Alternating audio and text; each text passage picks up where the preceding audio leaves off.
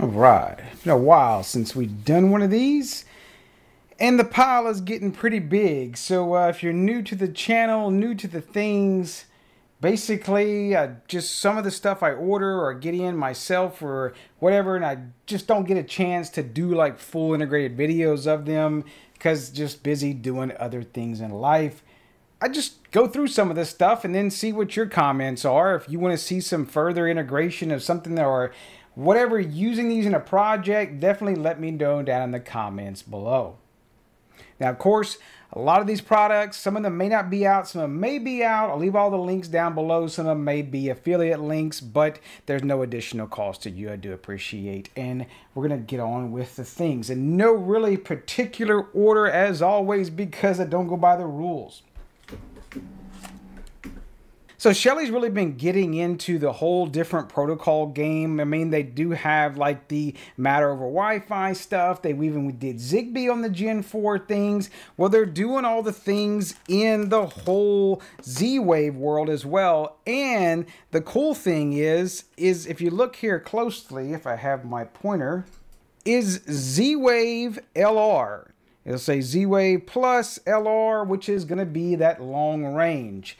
And one thing I was really excited to see was the actual one, of course, that I have open. And it's their little motion sensor. It's a small little motion sensor. Now, the cool thing about it is with Home Assistant is the newer version allows you to pair up with LR, which is long range, is not mesh. It's going to be from the coordinator over to the actual device. They claim, not Home Assistant, but the Z-Wave Alliance deal claims like this crazy quarter or half mile deal with actual Z-Wave LR. So I'm really curious to see how far I can get that for the whole Z-Wave LR stuff. And it looks like Doug has sent me the whole suite of things here. Um, down to the one I really loved, we've seen this in other models, was this is the relayless power monitoring, which is cool. You put it behind the fridge, refrigerator, whatever dishwasher, whatever it may be, you don't really need to cut off and you don't want to, you know, put a relay on those, but you want to do the power monitoring. This is it with 16 amp. And again, it's still 16 amp. Um, then they even have the 0 to 10 dimmer. Um, all the different modules that you're used to seeing on the Shelly side, except for what I was curious to see was also in their little motion sensor. Oh, and I guess the one I didn't open is this is the temperature and humidity sensor that we've seen before, but it's in the Z-Wave model as well. You do get the little QR code inside, and basically you just, the Home Assistant has made this stupid easy. You don't have to go into Z-Wave JS UI or whatever they're calling it nowadays. You just scan, hit add device for Z-Wave, a device actually in Home Assistant itself, and then it pre pairs up power it up, boom, it's done. You don't have to jump over to another add-on or Docker container thing. Just adds all right in a Home Assistant the way it should be. So we're to do some other stuff. Maybe we'll do some things with Z-Wave LR. Um, I do have a current coordinator for Z-Wave LR been playing with and uh, had Actually, I haven't had issues like I had with previous just regular Z-Wave in my area. So I'm kind of curious to see how that works. They did also send this interesting little device here. It's called their development board with terminals. So let's open this thing up. And basically to develop, I guess, different boards on the Shelly platform. I think this is the let's see. Oh, Shelly X Mod H H6. I guess that's their C6 module. Not really sure on that one. It looks like kind of the Espressif model, but um, I don't know. We'll play around with that a little more on this board and see exactly what this exact model is. Very interesting to see. I'm gonna see if I can power this thing up, and um, that's pretty neat. Nothing else really on the back. So I guess staying in line with different modules and things, the cool stuff. I know we've had CircuitSetup stuff and way we are way zoomed in. And if you remember, we did like the original like two channel power monitoring, and then he's got the, the 6, 12, 32. I still use his power monitoring to the day till this day, and it works awesome. Um, but he come out with something else. Using the it's this cool little case I thought was neat. Using the open source I know they had that RAT GDO thing, but then I remember Konnected came out with a different library that was even better. Then they open sourced it. Well, now he's brought it into ESPHome and has this custom little module. And I do have one installed because I have two garage doors that have, you know, like that learning button. It's not the old school just relay. And yeah, that's you can't do like simple like relay modules to push the button. Well, the cool thing is, and I'll show some of the stats on the screen, this actually just pairs up and you can have an actual percentage to open the garage doors. So for instance, if I want to open the garage doors, just have an automation for Ms. Blur to open up both garage doors to 15%, let it breeze through the carport area that's now closed in. Pretty awesome stuff. She didn't have to sit there and try to toggle the buttons. So I thought it was interesting. He has this white part on here, but that's actually for, I thought it was a sticker at first. It's for an LED. And it's really simple to hook up. I didn't use any of these terminals. And I just really, all you do is you power it with USB-C and then put the red and white and I'll put a picture he sent me of the back because I think he has it screwed in here. Um, and then you just plug it into the door and turn the door opener and turn everything on. It paired right up and boom, I cycled the door up and down one time with the actual button on the wall and it worked perfectly. It was a pretty stupid simple installation. Now he does have ESPHome loaded on these for you automatically, but you can take them over and do your own thing. I guess if you want to do like Bluetooth proxy from them as well. Um, I didn't do that. Um, he has temperature, humidity on here. Looks like a potentially a buzzer on there as well. And um, yeah, pretty cool stuff with this. It is the ESP32S3, I believe. Yeah, ESP32S3. So definitely he did not choose a um, ESP8266 like some other garage door manufacturers decided to do with their little modules, or I guess you would say the aftermarket modules. So I thought that was kind of cool. Um, I'll be doing an integration deal with this one to show how I set everything up. Really awesome. To, glad to see CircuitSetup getting into those, and I was pretty. Thank you for sending that. Definitely changes things with the way I do my garage doors now. Um, if you saw the chicken video, well, this one is the Temp Pro 1 and it is powered up right now through USB-C. I do have the Wi-Fi firmware on it, and but they do have power over ethernet. And there are two jacks here. Looks like a headphone 3.5 millimeter. I'm just using the one sensor that they sent me on this. We're using it for to hatch the chickens. This one's i think a sht 20 it's perfect for dangling inside the little chicken thing. And doesn't get messy whenever during hatching time. So but it comes in this cool case it has this little block that you can slide off, of course, that you can mount that. Um, and inside, there's all kind of goodies for PoE. I believe this is the ESP32 that's also the ESP32S3. I was about to speak wrong and thinking it was the C3, but they have put the S3 on it. Glad to see that moving forward. It's just basically a more chip, uh, just the updated chip from the C3 has more processing power, memory, RAM, etc. So this is power over Ethernet. You do have Wi-Fi options. This would be great for if you want to do Bluetooth proxy over Ethernet get off your Wi-Fi because you're repeating all that 2.4 gigahertz over 2.4 gigahertz again. Yes, you can have too many Bluetooth Wi-Fi proxies, but this kind of corrects that if you want to do power over Ethernet. Maybe you can even throw this in a network cabinet and just say, hey, I want to see the temperature of all my network equipment and then Bluetooth proxy in there. Simple little thing. Um, glad to see that they did this in a PoE option. And of course, since it is ESPHome, you can take it over and do whatever sensors and stuff you want to do based on the hardware that's shown here. That comes from Apollo Automation, and so does this. We may have to turn the camera lights down for this one. Thought this was pretty damn slick. Let me steal the USB.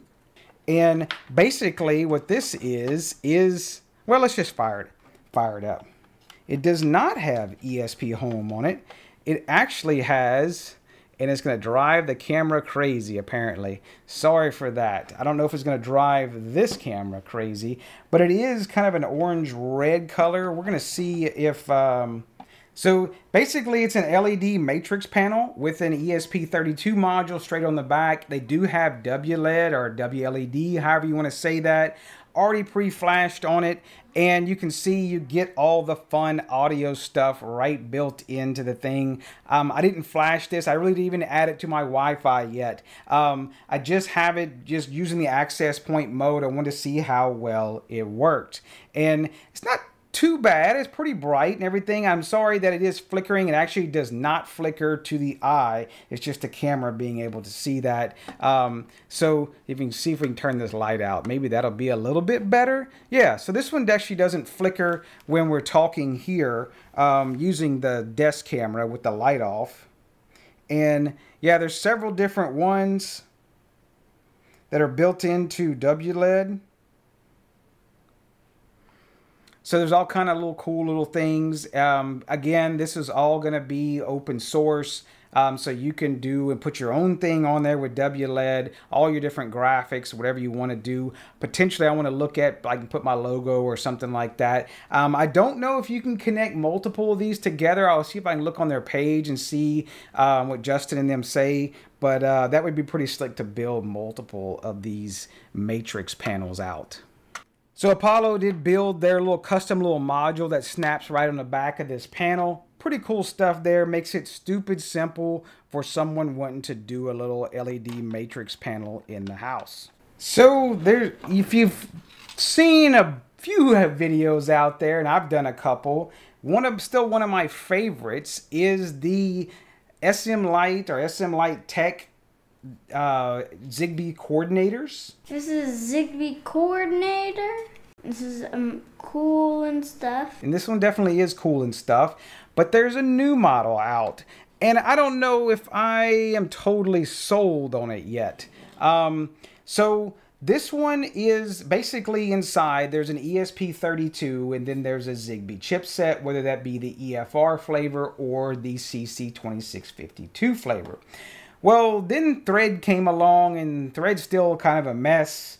Um, but then they thought, hey, let's just make a dual one of, and no, it's not the shocker.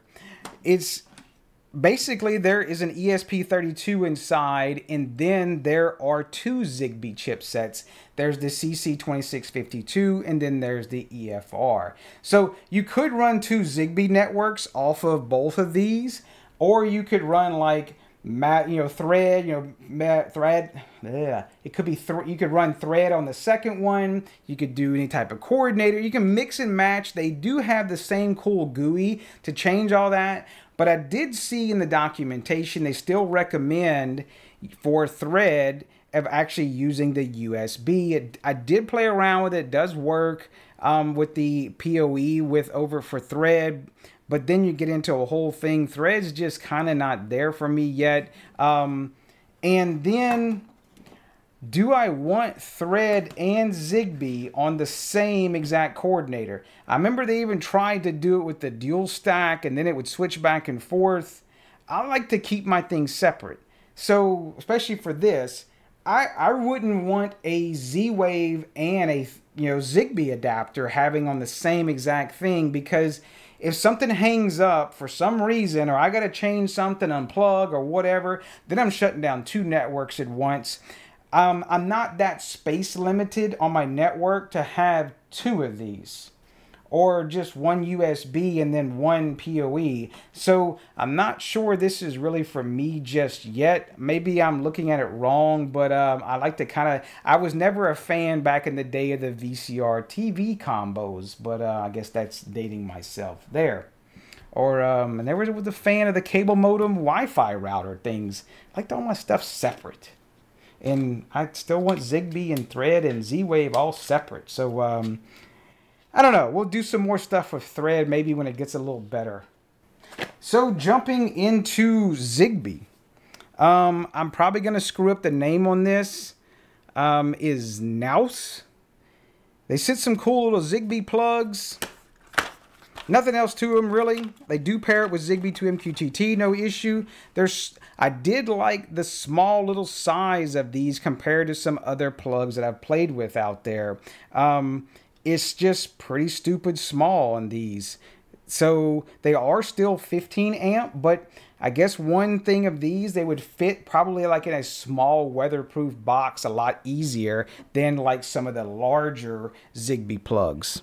This is a Sonoff one, and it's a pretty standard size. You can see the difference in there's a way different ones of you know the length or on the width i guess you would say but um yeah, I've played around with some of these in the Wi-Fi aspect, and I really liked it for like using them outside in some weatherproof boxes. So that'd be a good idea, um, I guess. But don't take my advice on that because they probably say these aren't outside rated.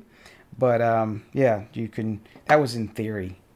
So um, nothing else really with those. They are Zigbee repeaters as well, since they are mains powered. Um, they do have power monitoring on them. They are 15 amp for the U.S. market. Um, so pretty cool. Thanks for sending those. I'm sure we'll get to use a use for doing the Zigbee plugs. So sticking with Zigbee, um, Sonoff has come out with a cool couple of little different um, Zigbee looking, or I guess they are Zigbee, not just looking. They are Zigbee with a display. And let's zoom in a little bit here. This one is a magnet based on the back. And it does have a very large coin cell. It's a CR2477 and then it has the magnet actually in the back so like you can stick it to the refrigerator or something else you know outside like a metal post or perfect for that. And um, it even has a little thing for a strap. But one thing i don't understand why a decimal point on the humidity? Is it really going to make a difference if it's 74.7% humidity or 74.2% humidity? It really throws me off of the having the decimal. I think it's 647% humidity. So I wish they would do away with the whole decimal point. I do get the decimal point, especially on Celsius when you're doing temperature. So I kind of understand that for the temperature, but not for humidity. These are IP65 for, you know, the weatherproof stuff. And they do have another model, which would be great probably for like a pool or something like that. You probably won't use the display much, but it has a wired sensor. And no, it does not unplug like you would see on some others. It is just like a little Dallas waterproof sensor, and you can drop it into things. So it's the kind of the same exact design, except the sensor is remote in a way. Minus 40 Celsius to 115 Celsius. It's a pretty decent range there. Staying in the whole thing of doing Zigbee things, this actually is Zigbee or Thread, and you just basically you do need to use their app, where you compare it the first time. And it, what it does, it actually sends the firmware over if you want Zigbee or you want Thread via Bluetooth from your cell phone. You don't have to pair it up with the cloud or anything because Zigbee and Thread are local by nature. You're just changing the firmware with it, so you don't have to get all geeky and flash it. So this is like their little climate sensor, and it is like this has this base thing. Got that base. And then you can push buttons on it and change, like if you want to have a different thermostat and everything. Um, I'm not exactly kind of sold on this. I guess if you change your thermostat a lot from around the other side of the house, maybe that would be beneficial. But um, I would just kind of like it for its, and it I guess looks like two coin cells is just having a nice display of the temperature and everything. And um, there's not a whole lot else to this thing that I've found. It's just a climate sensor with controls.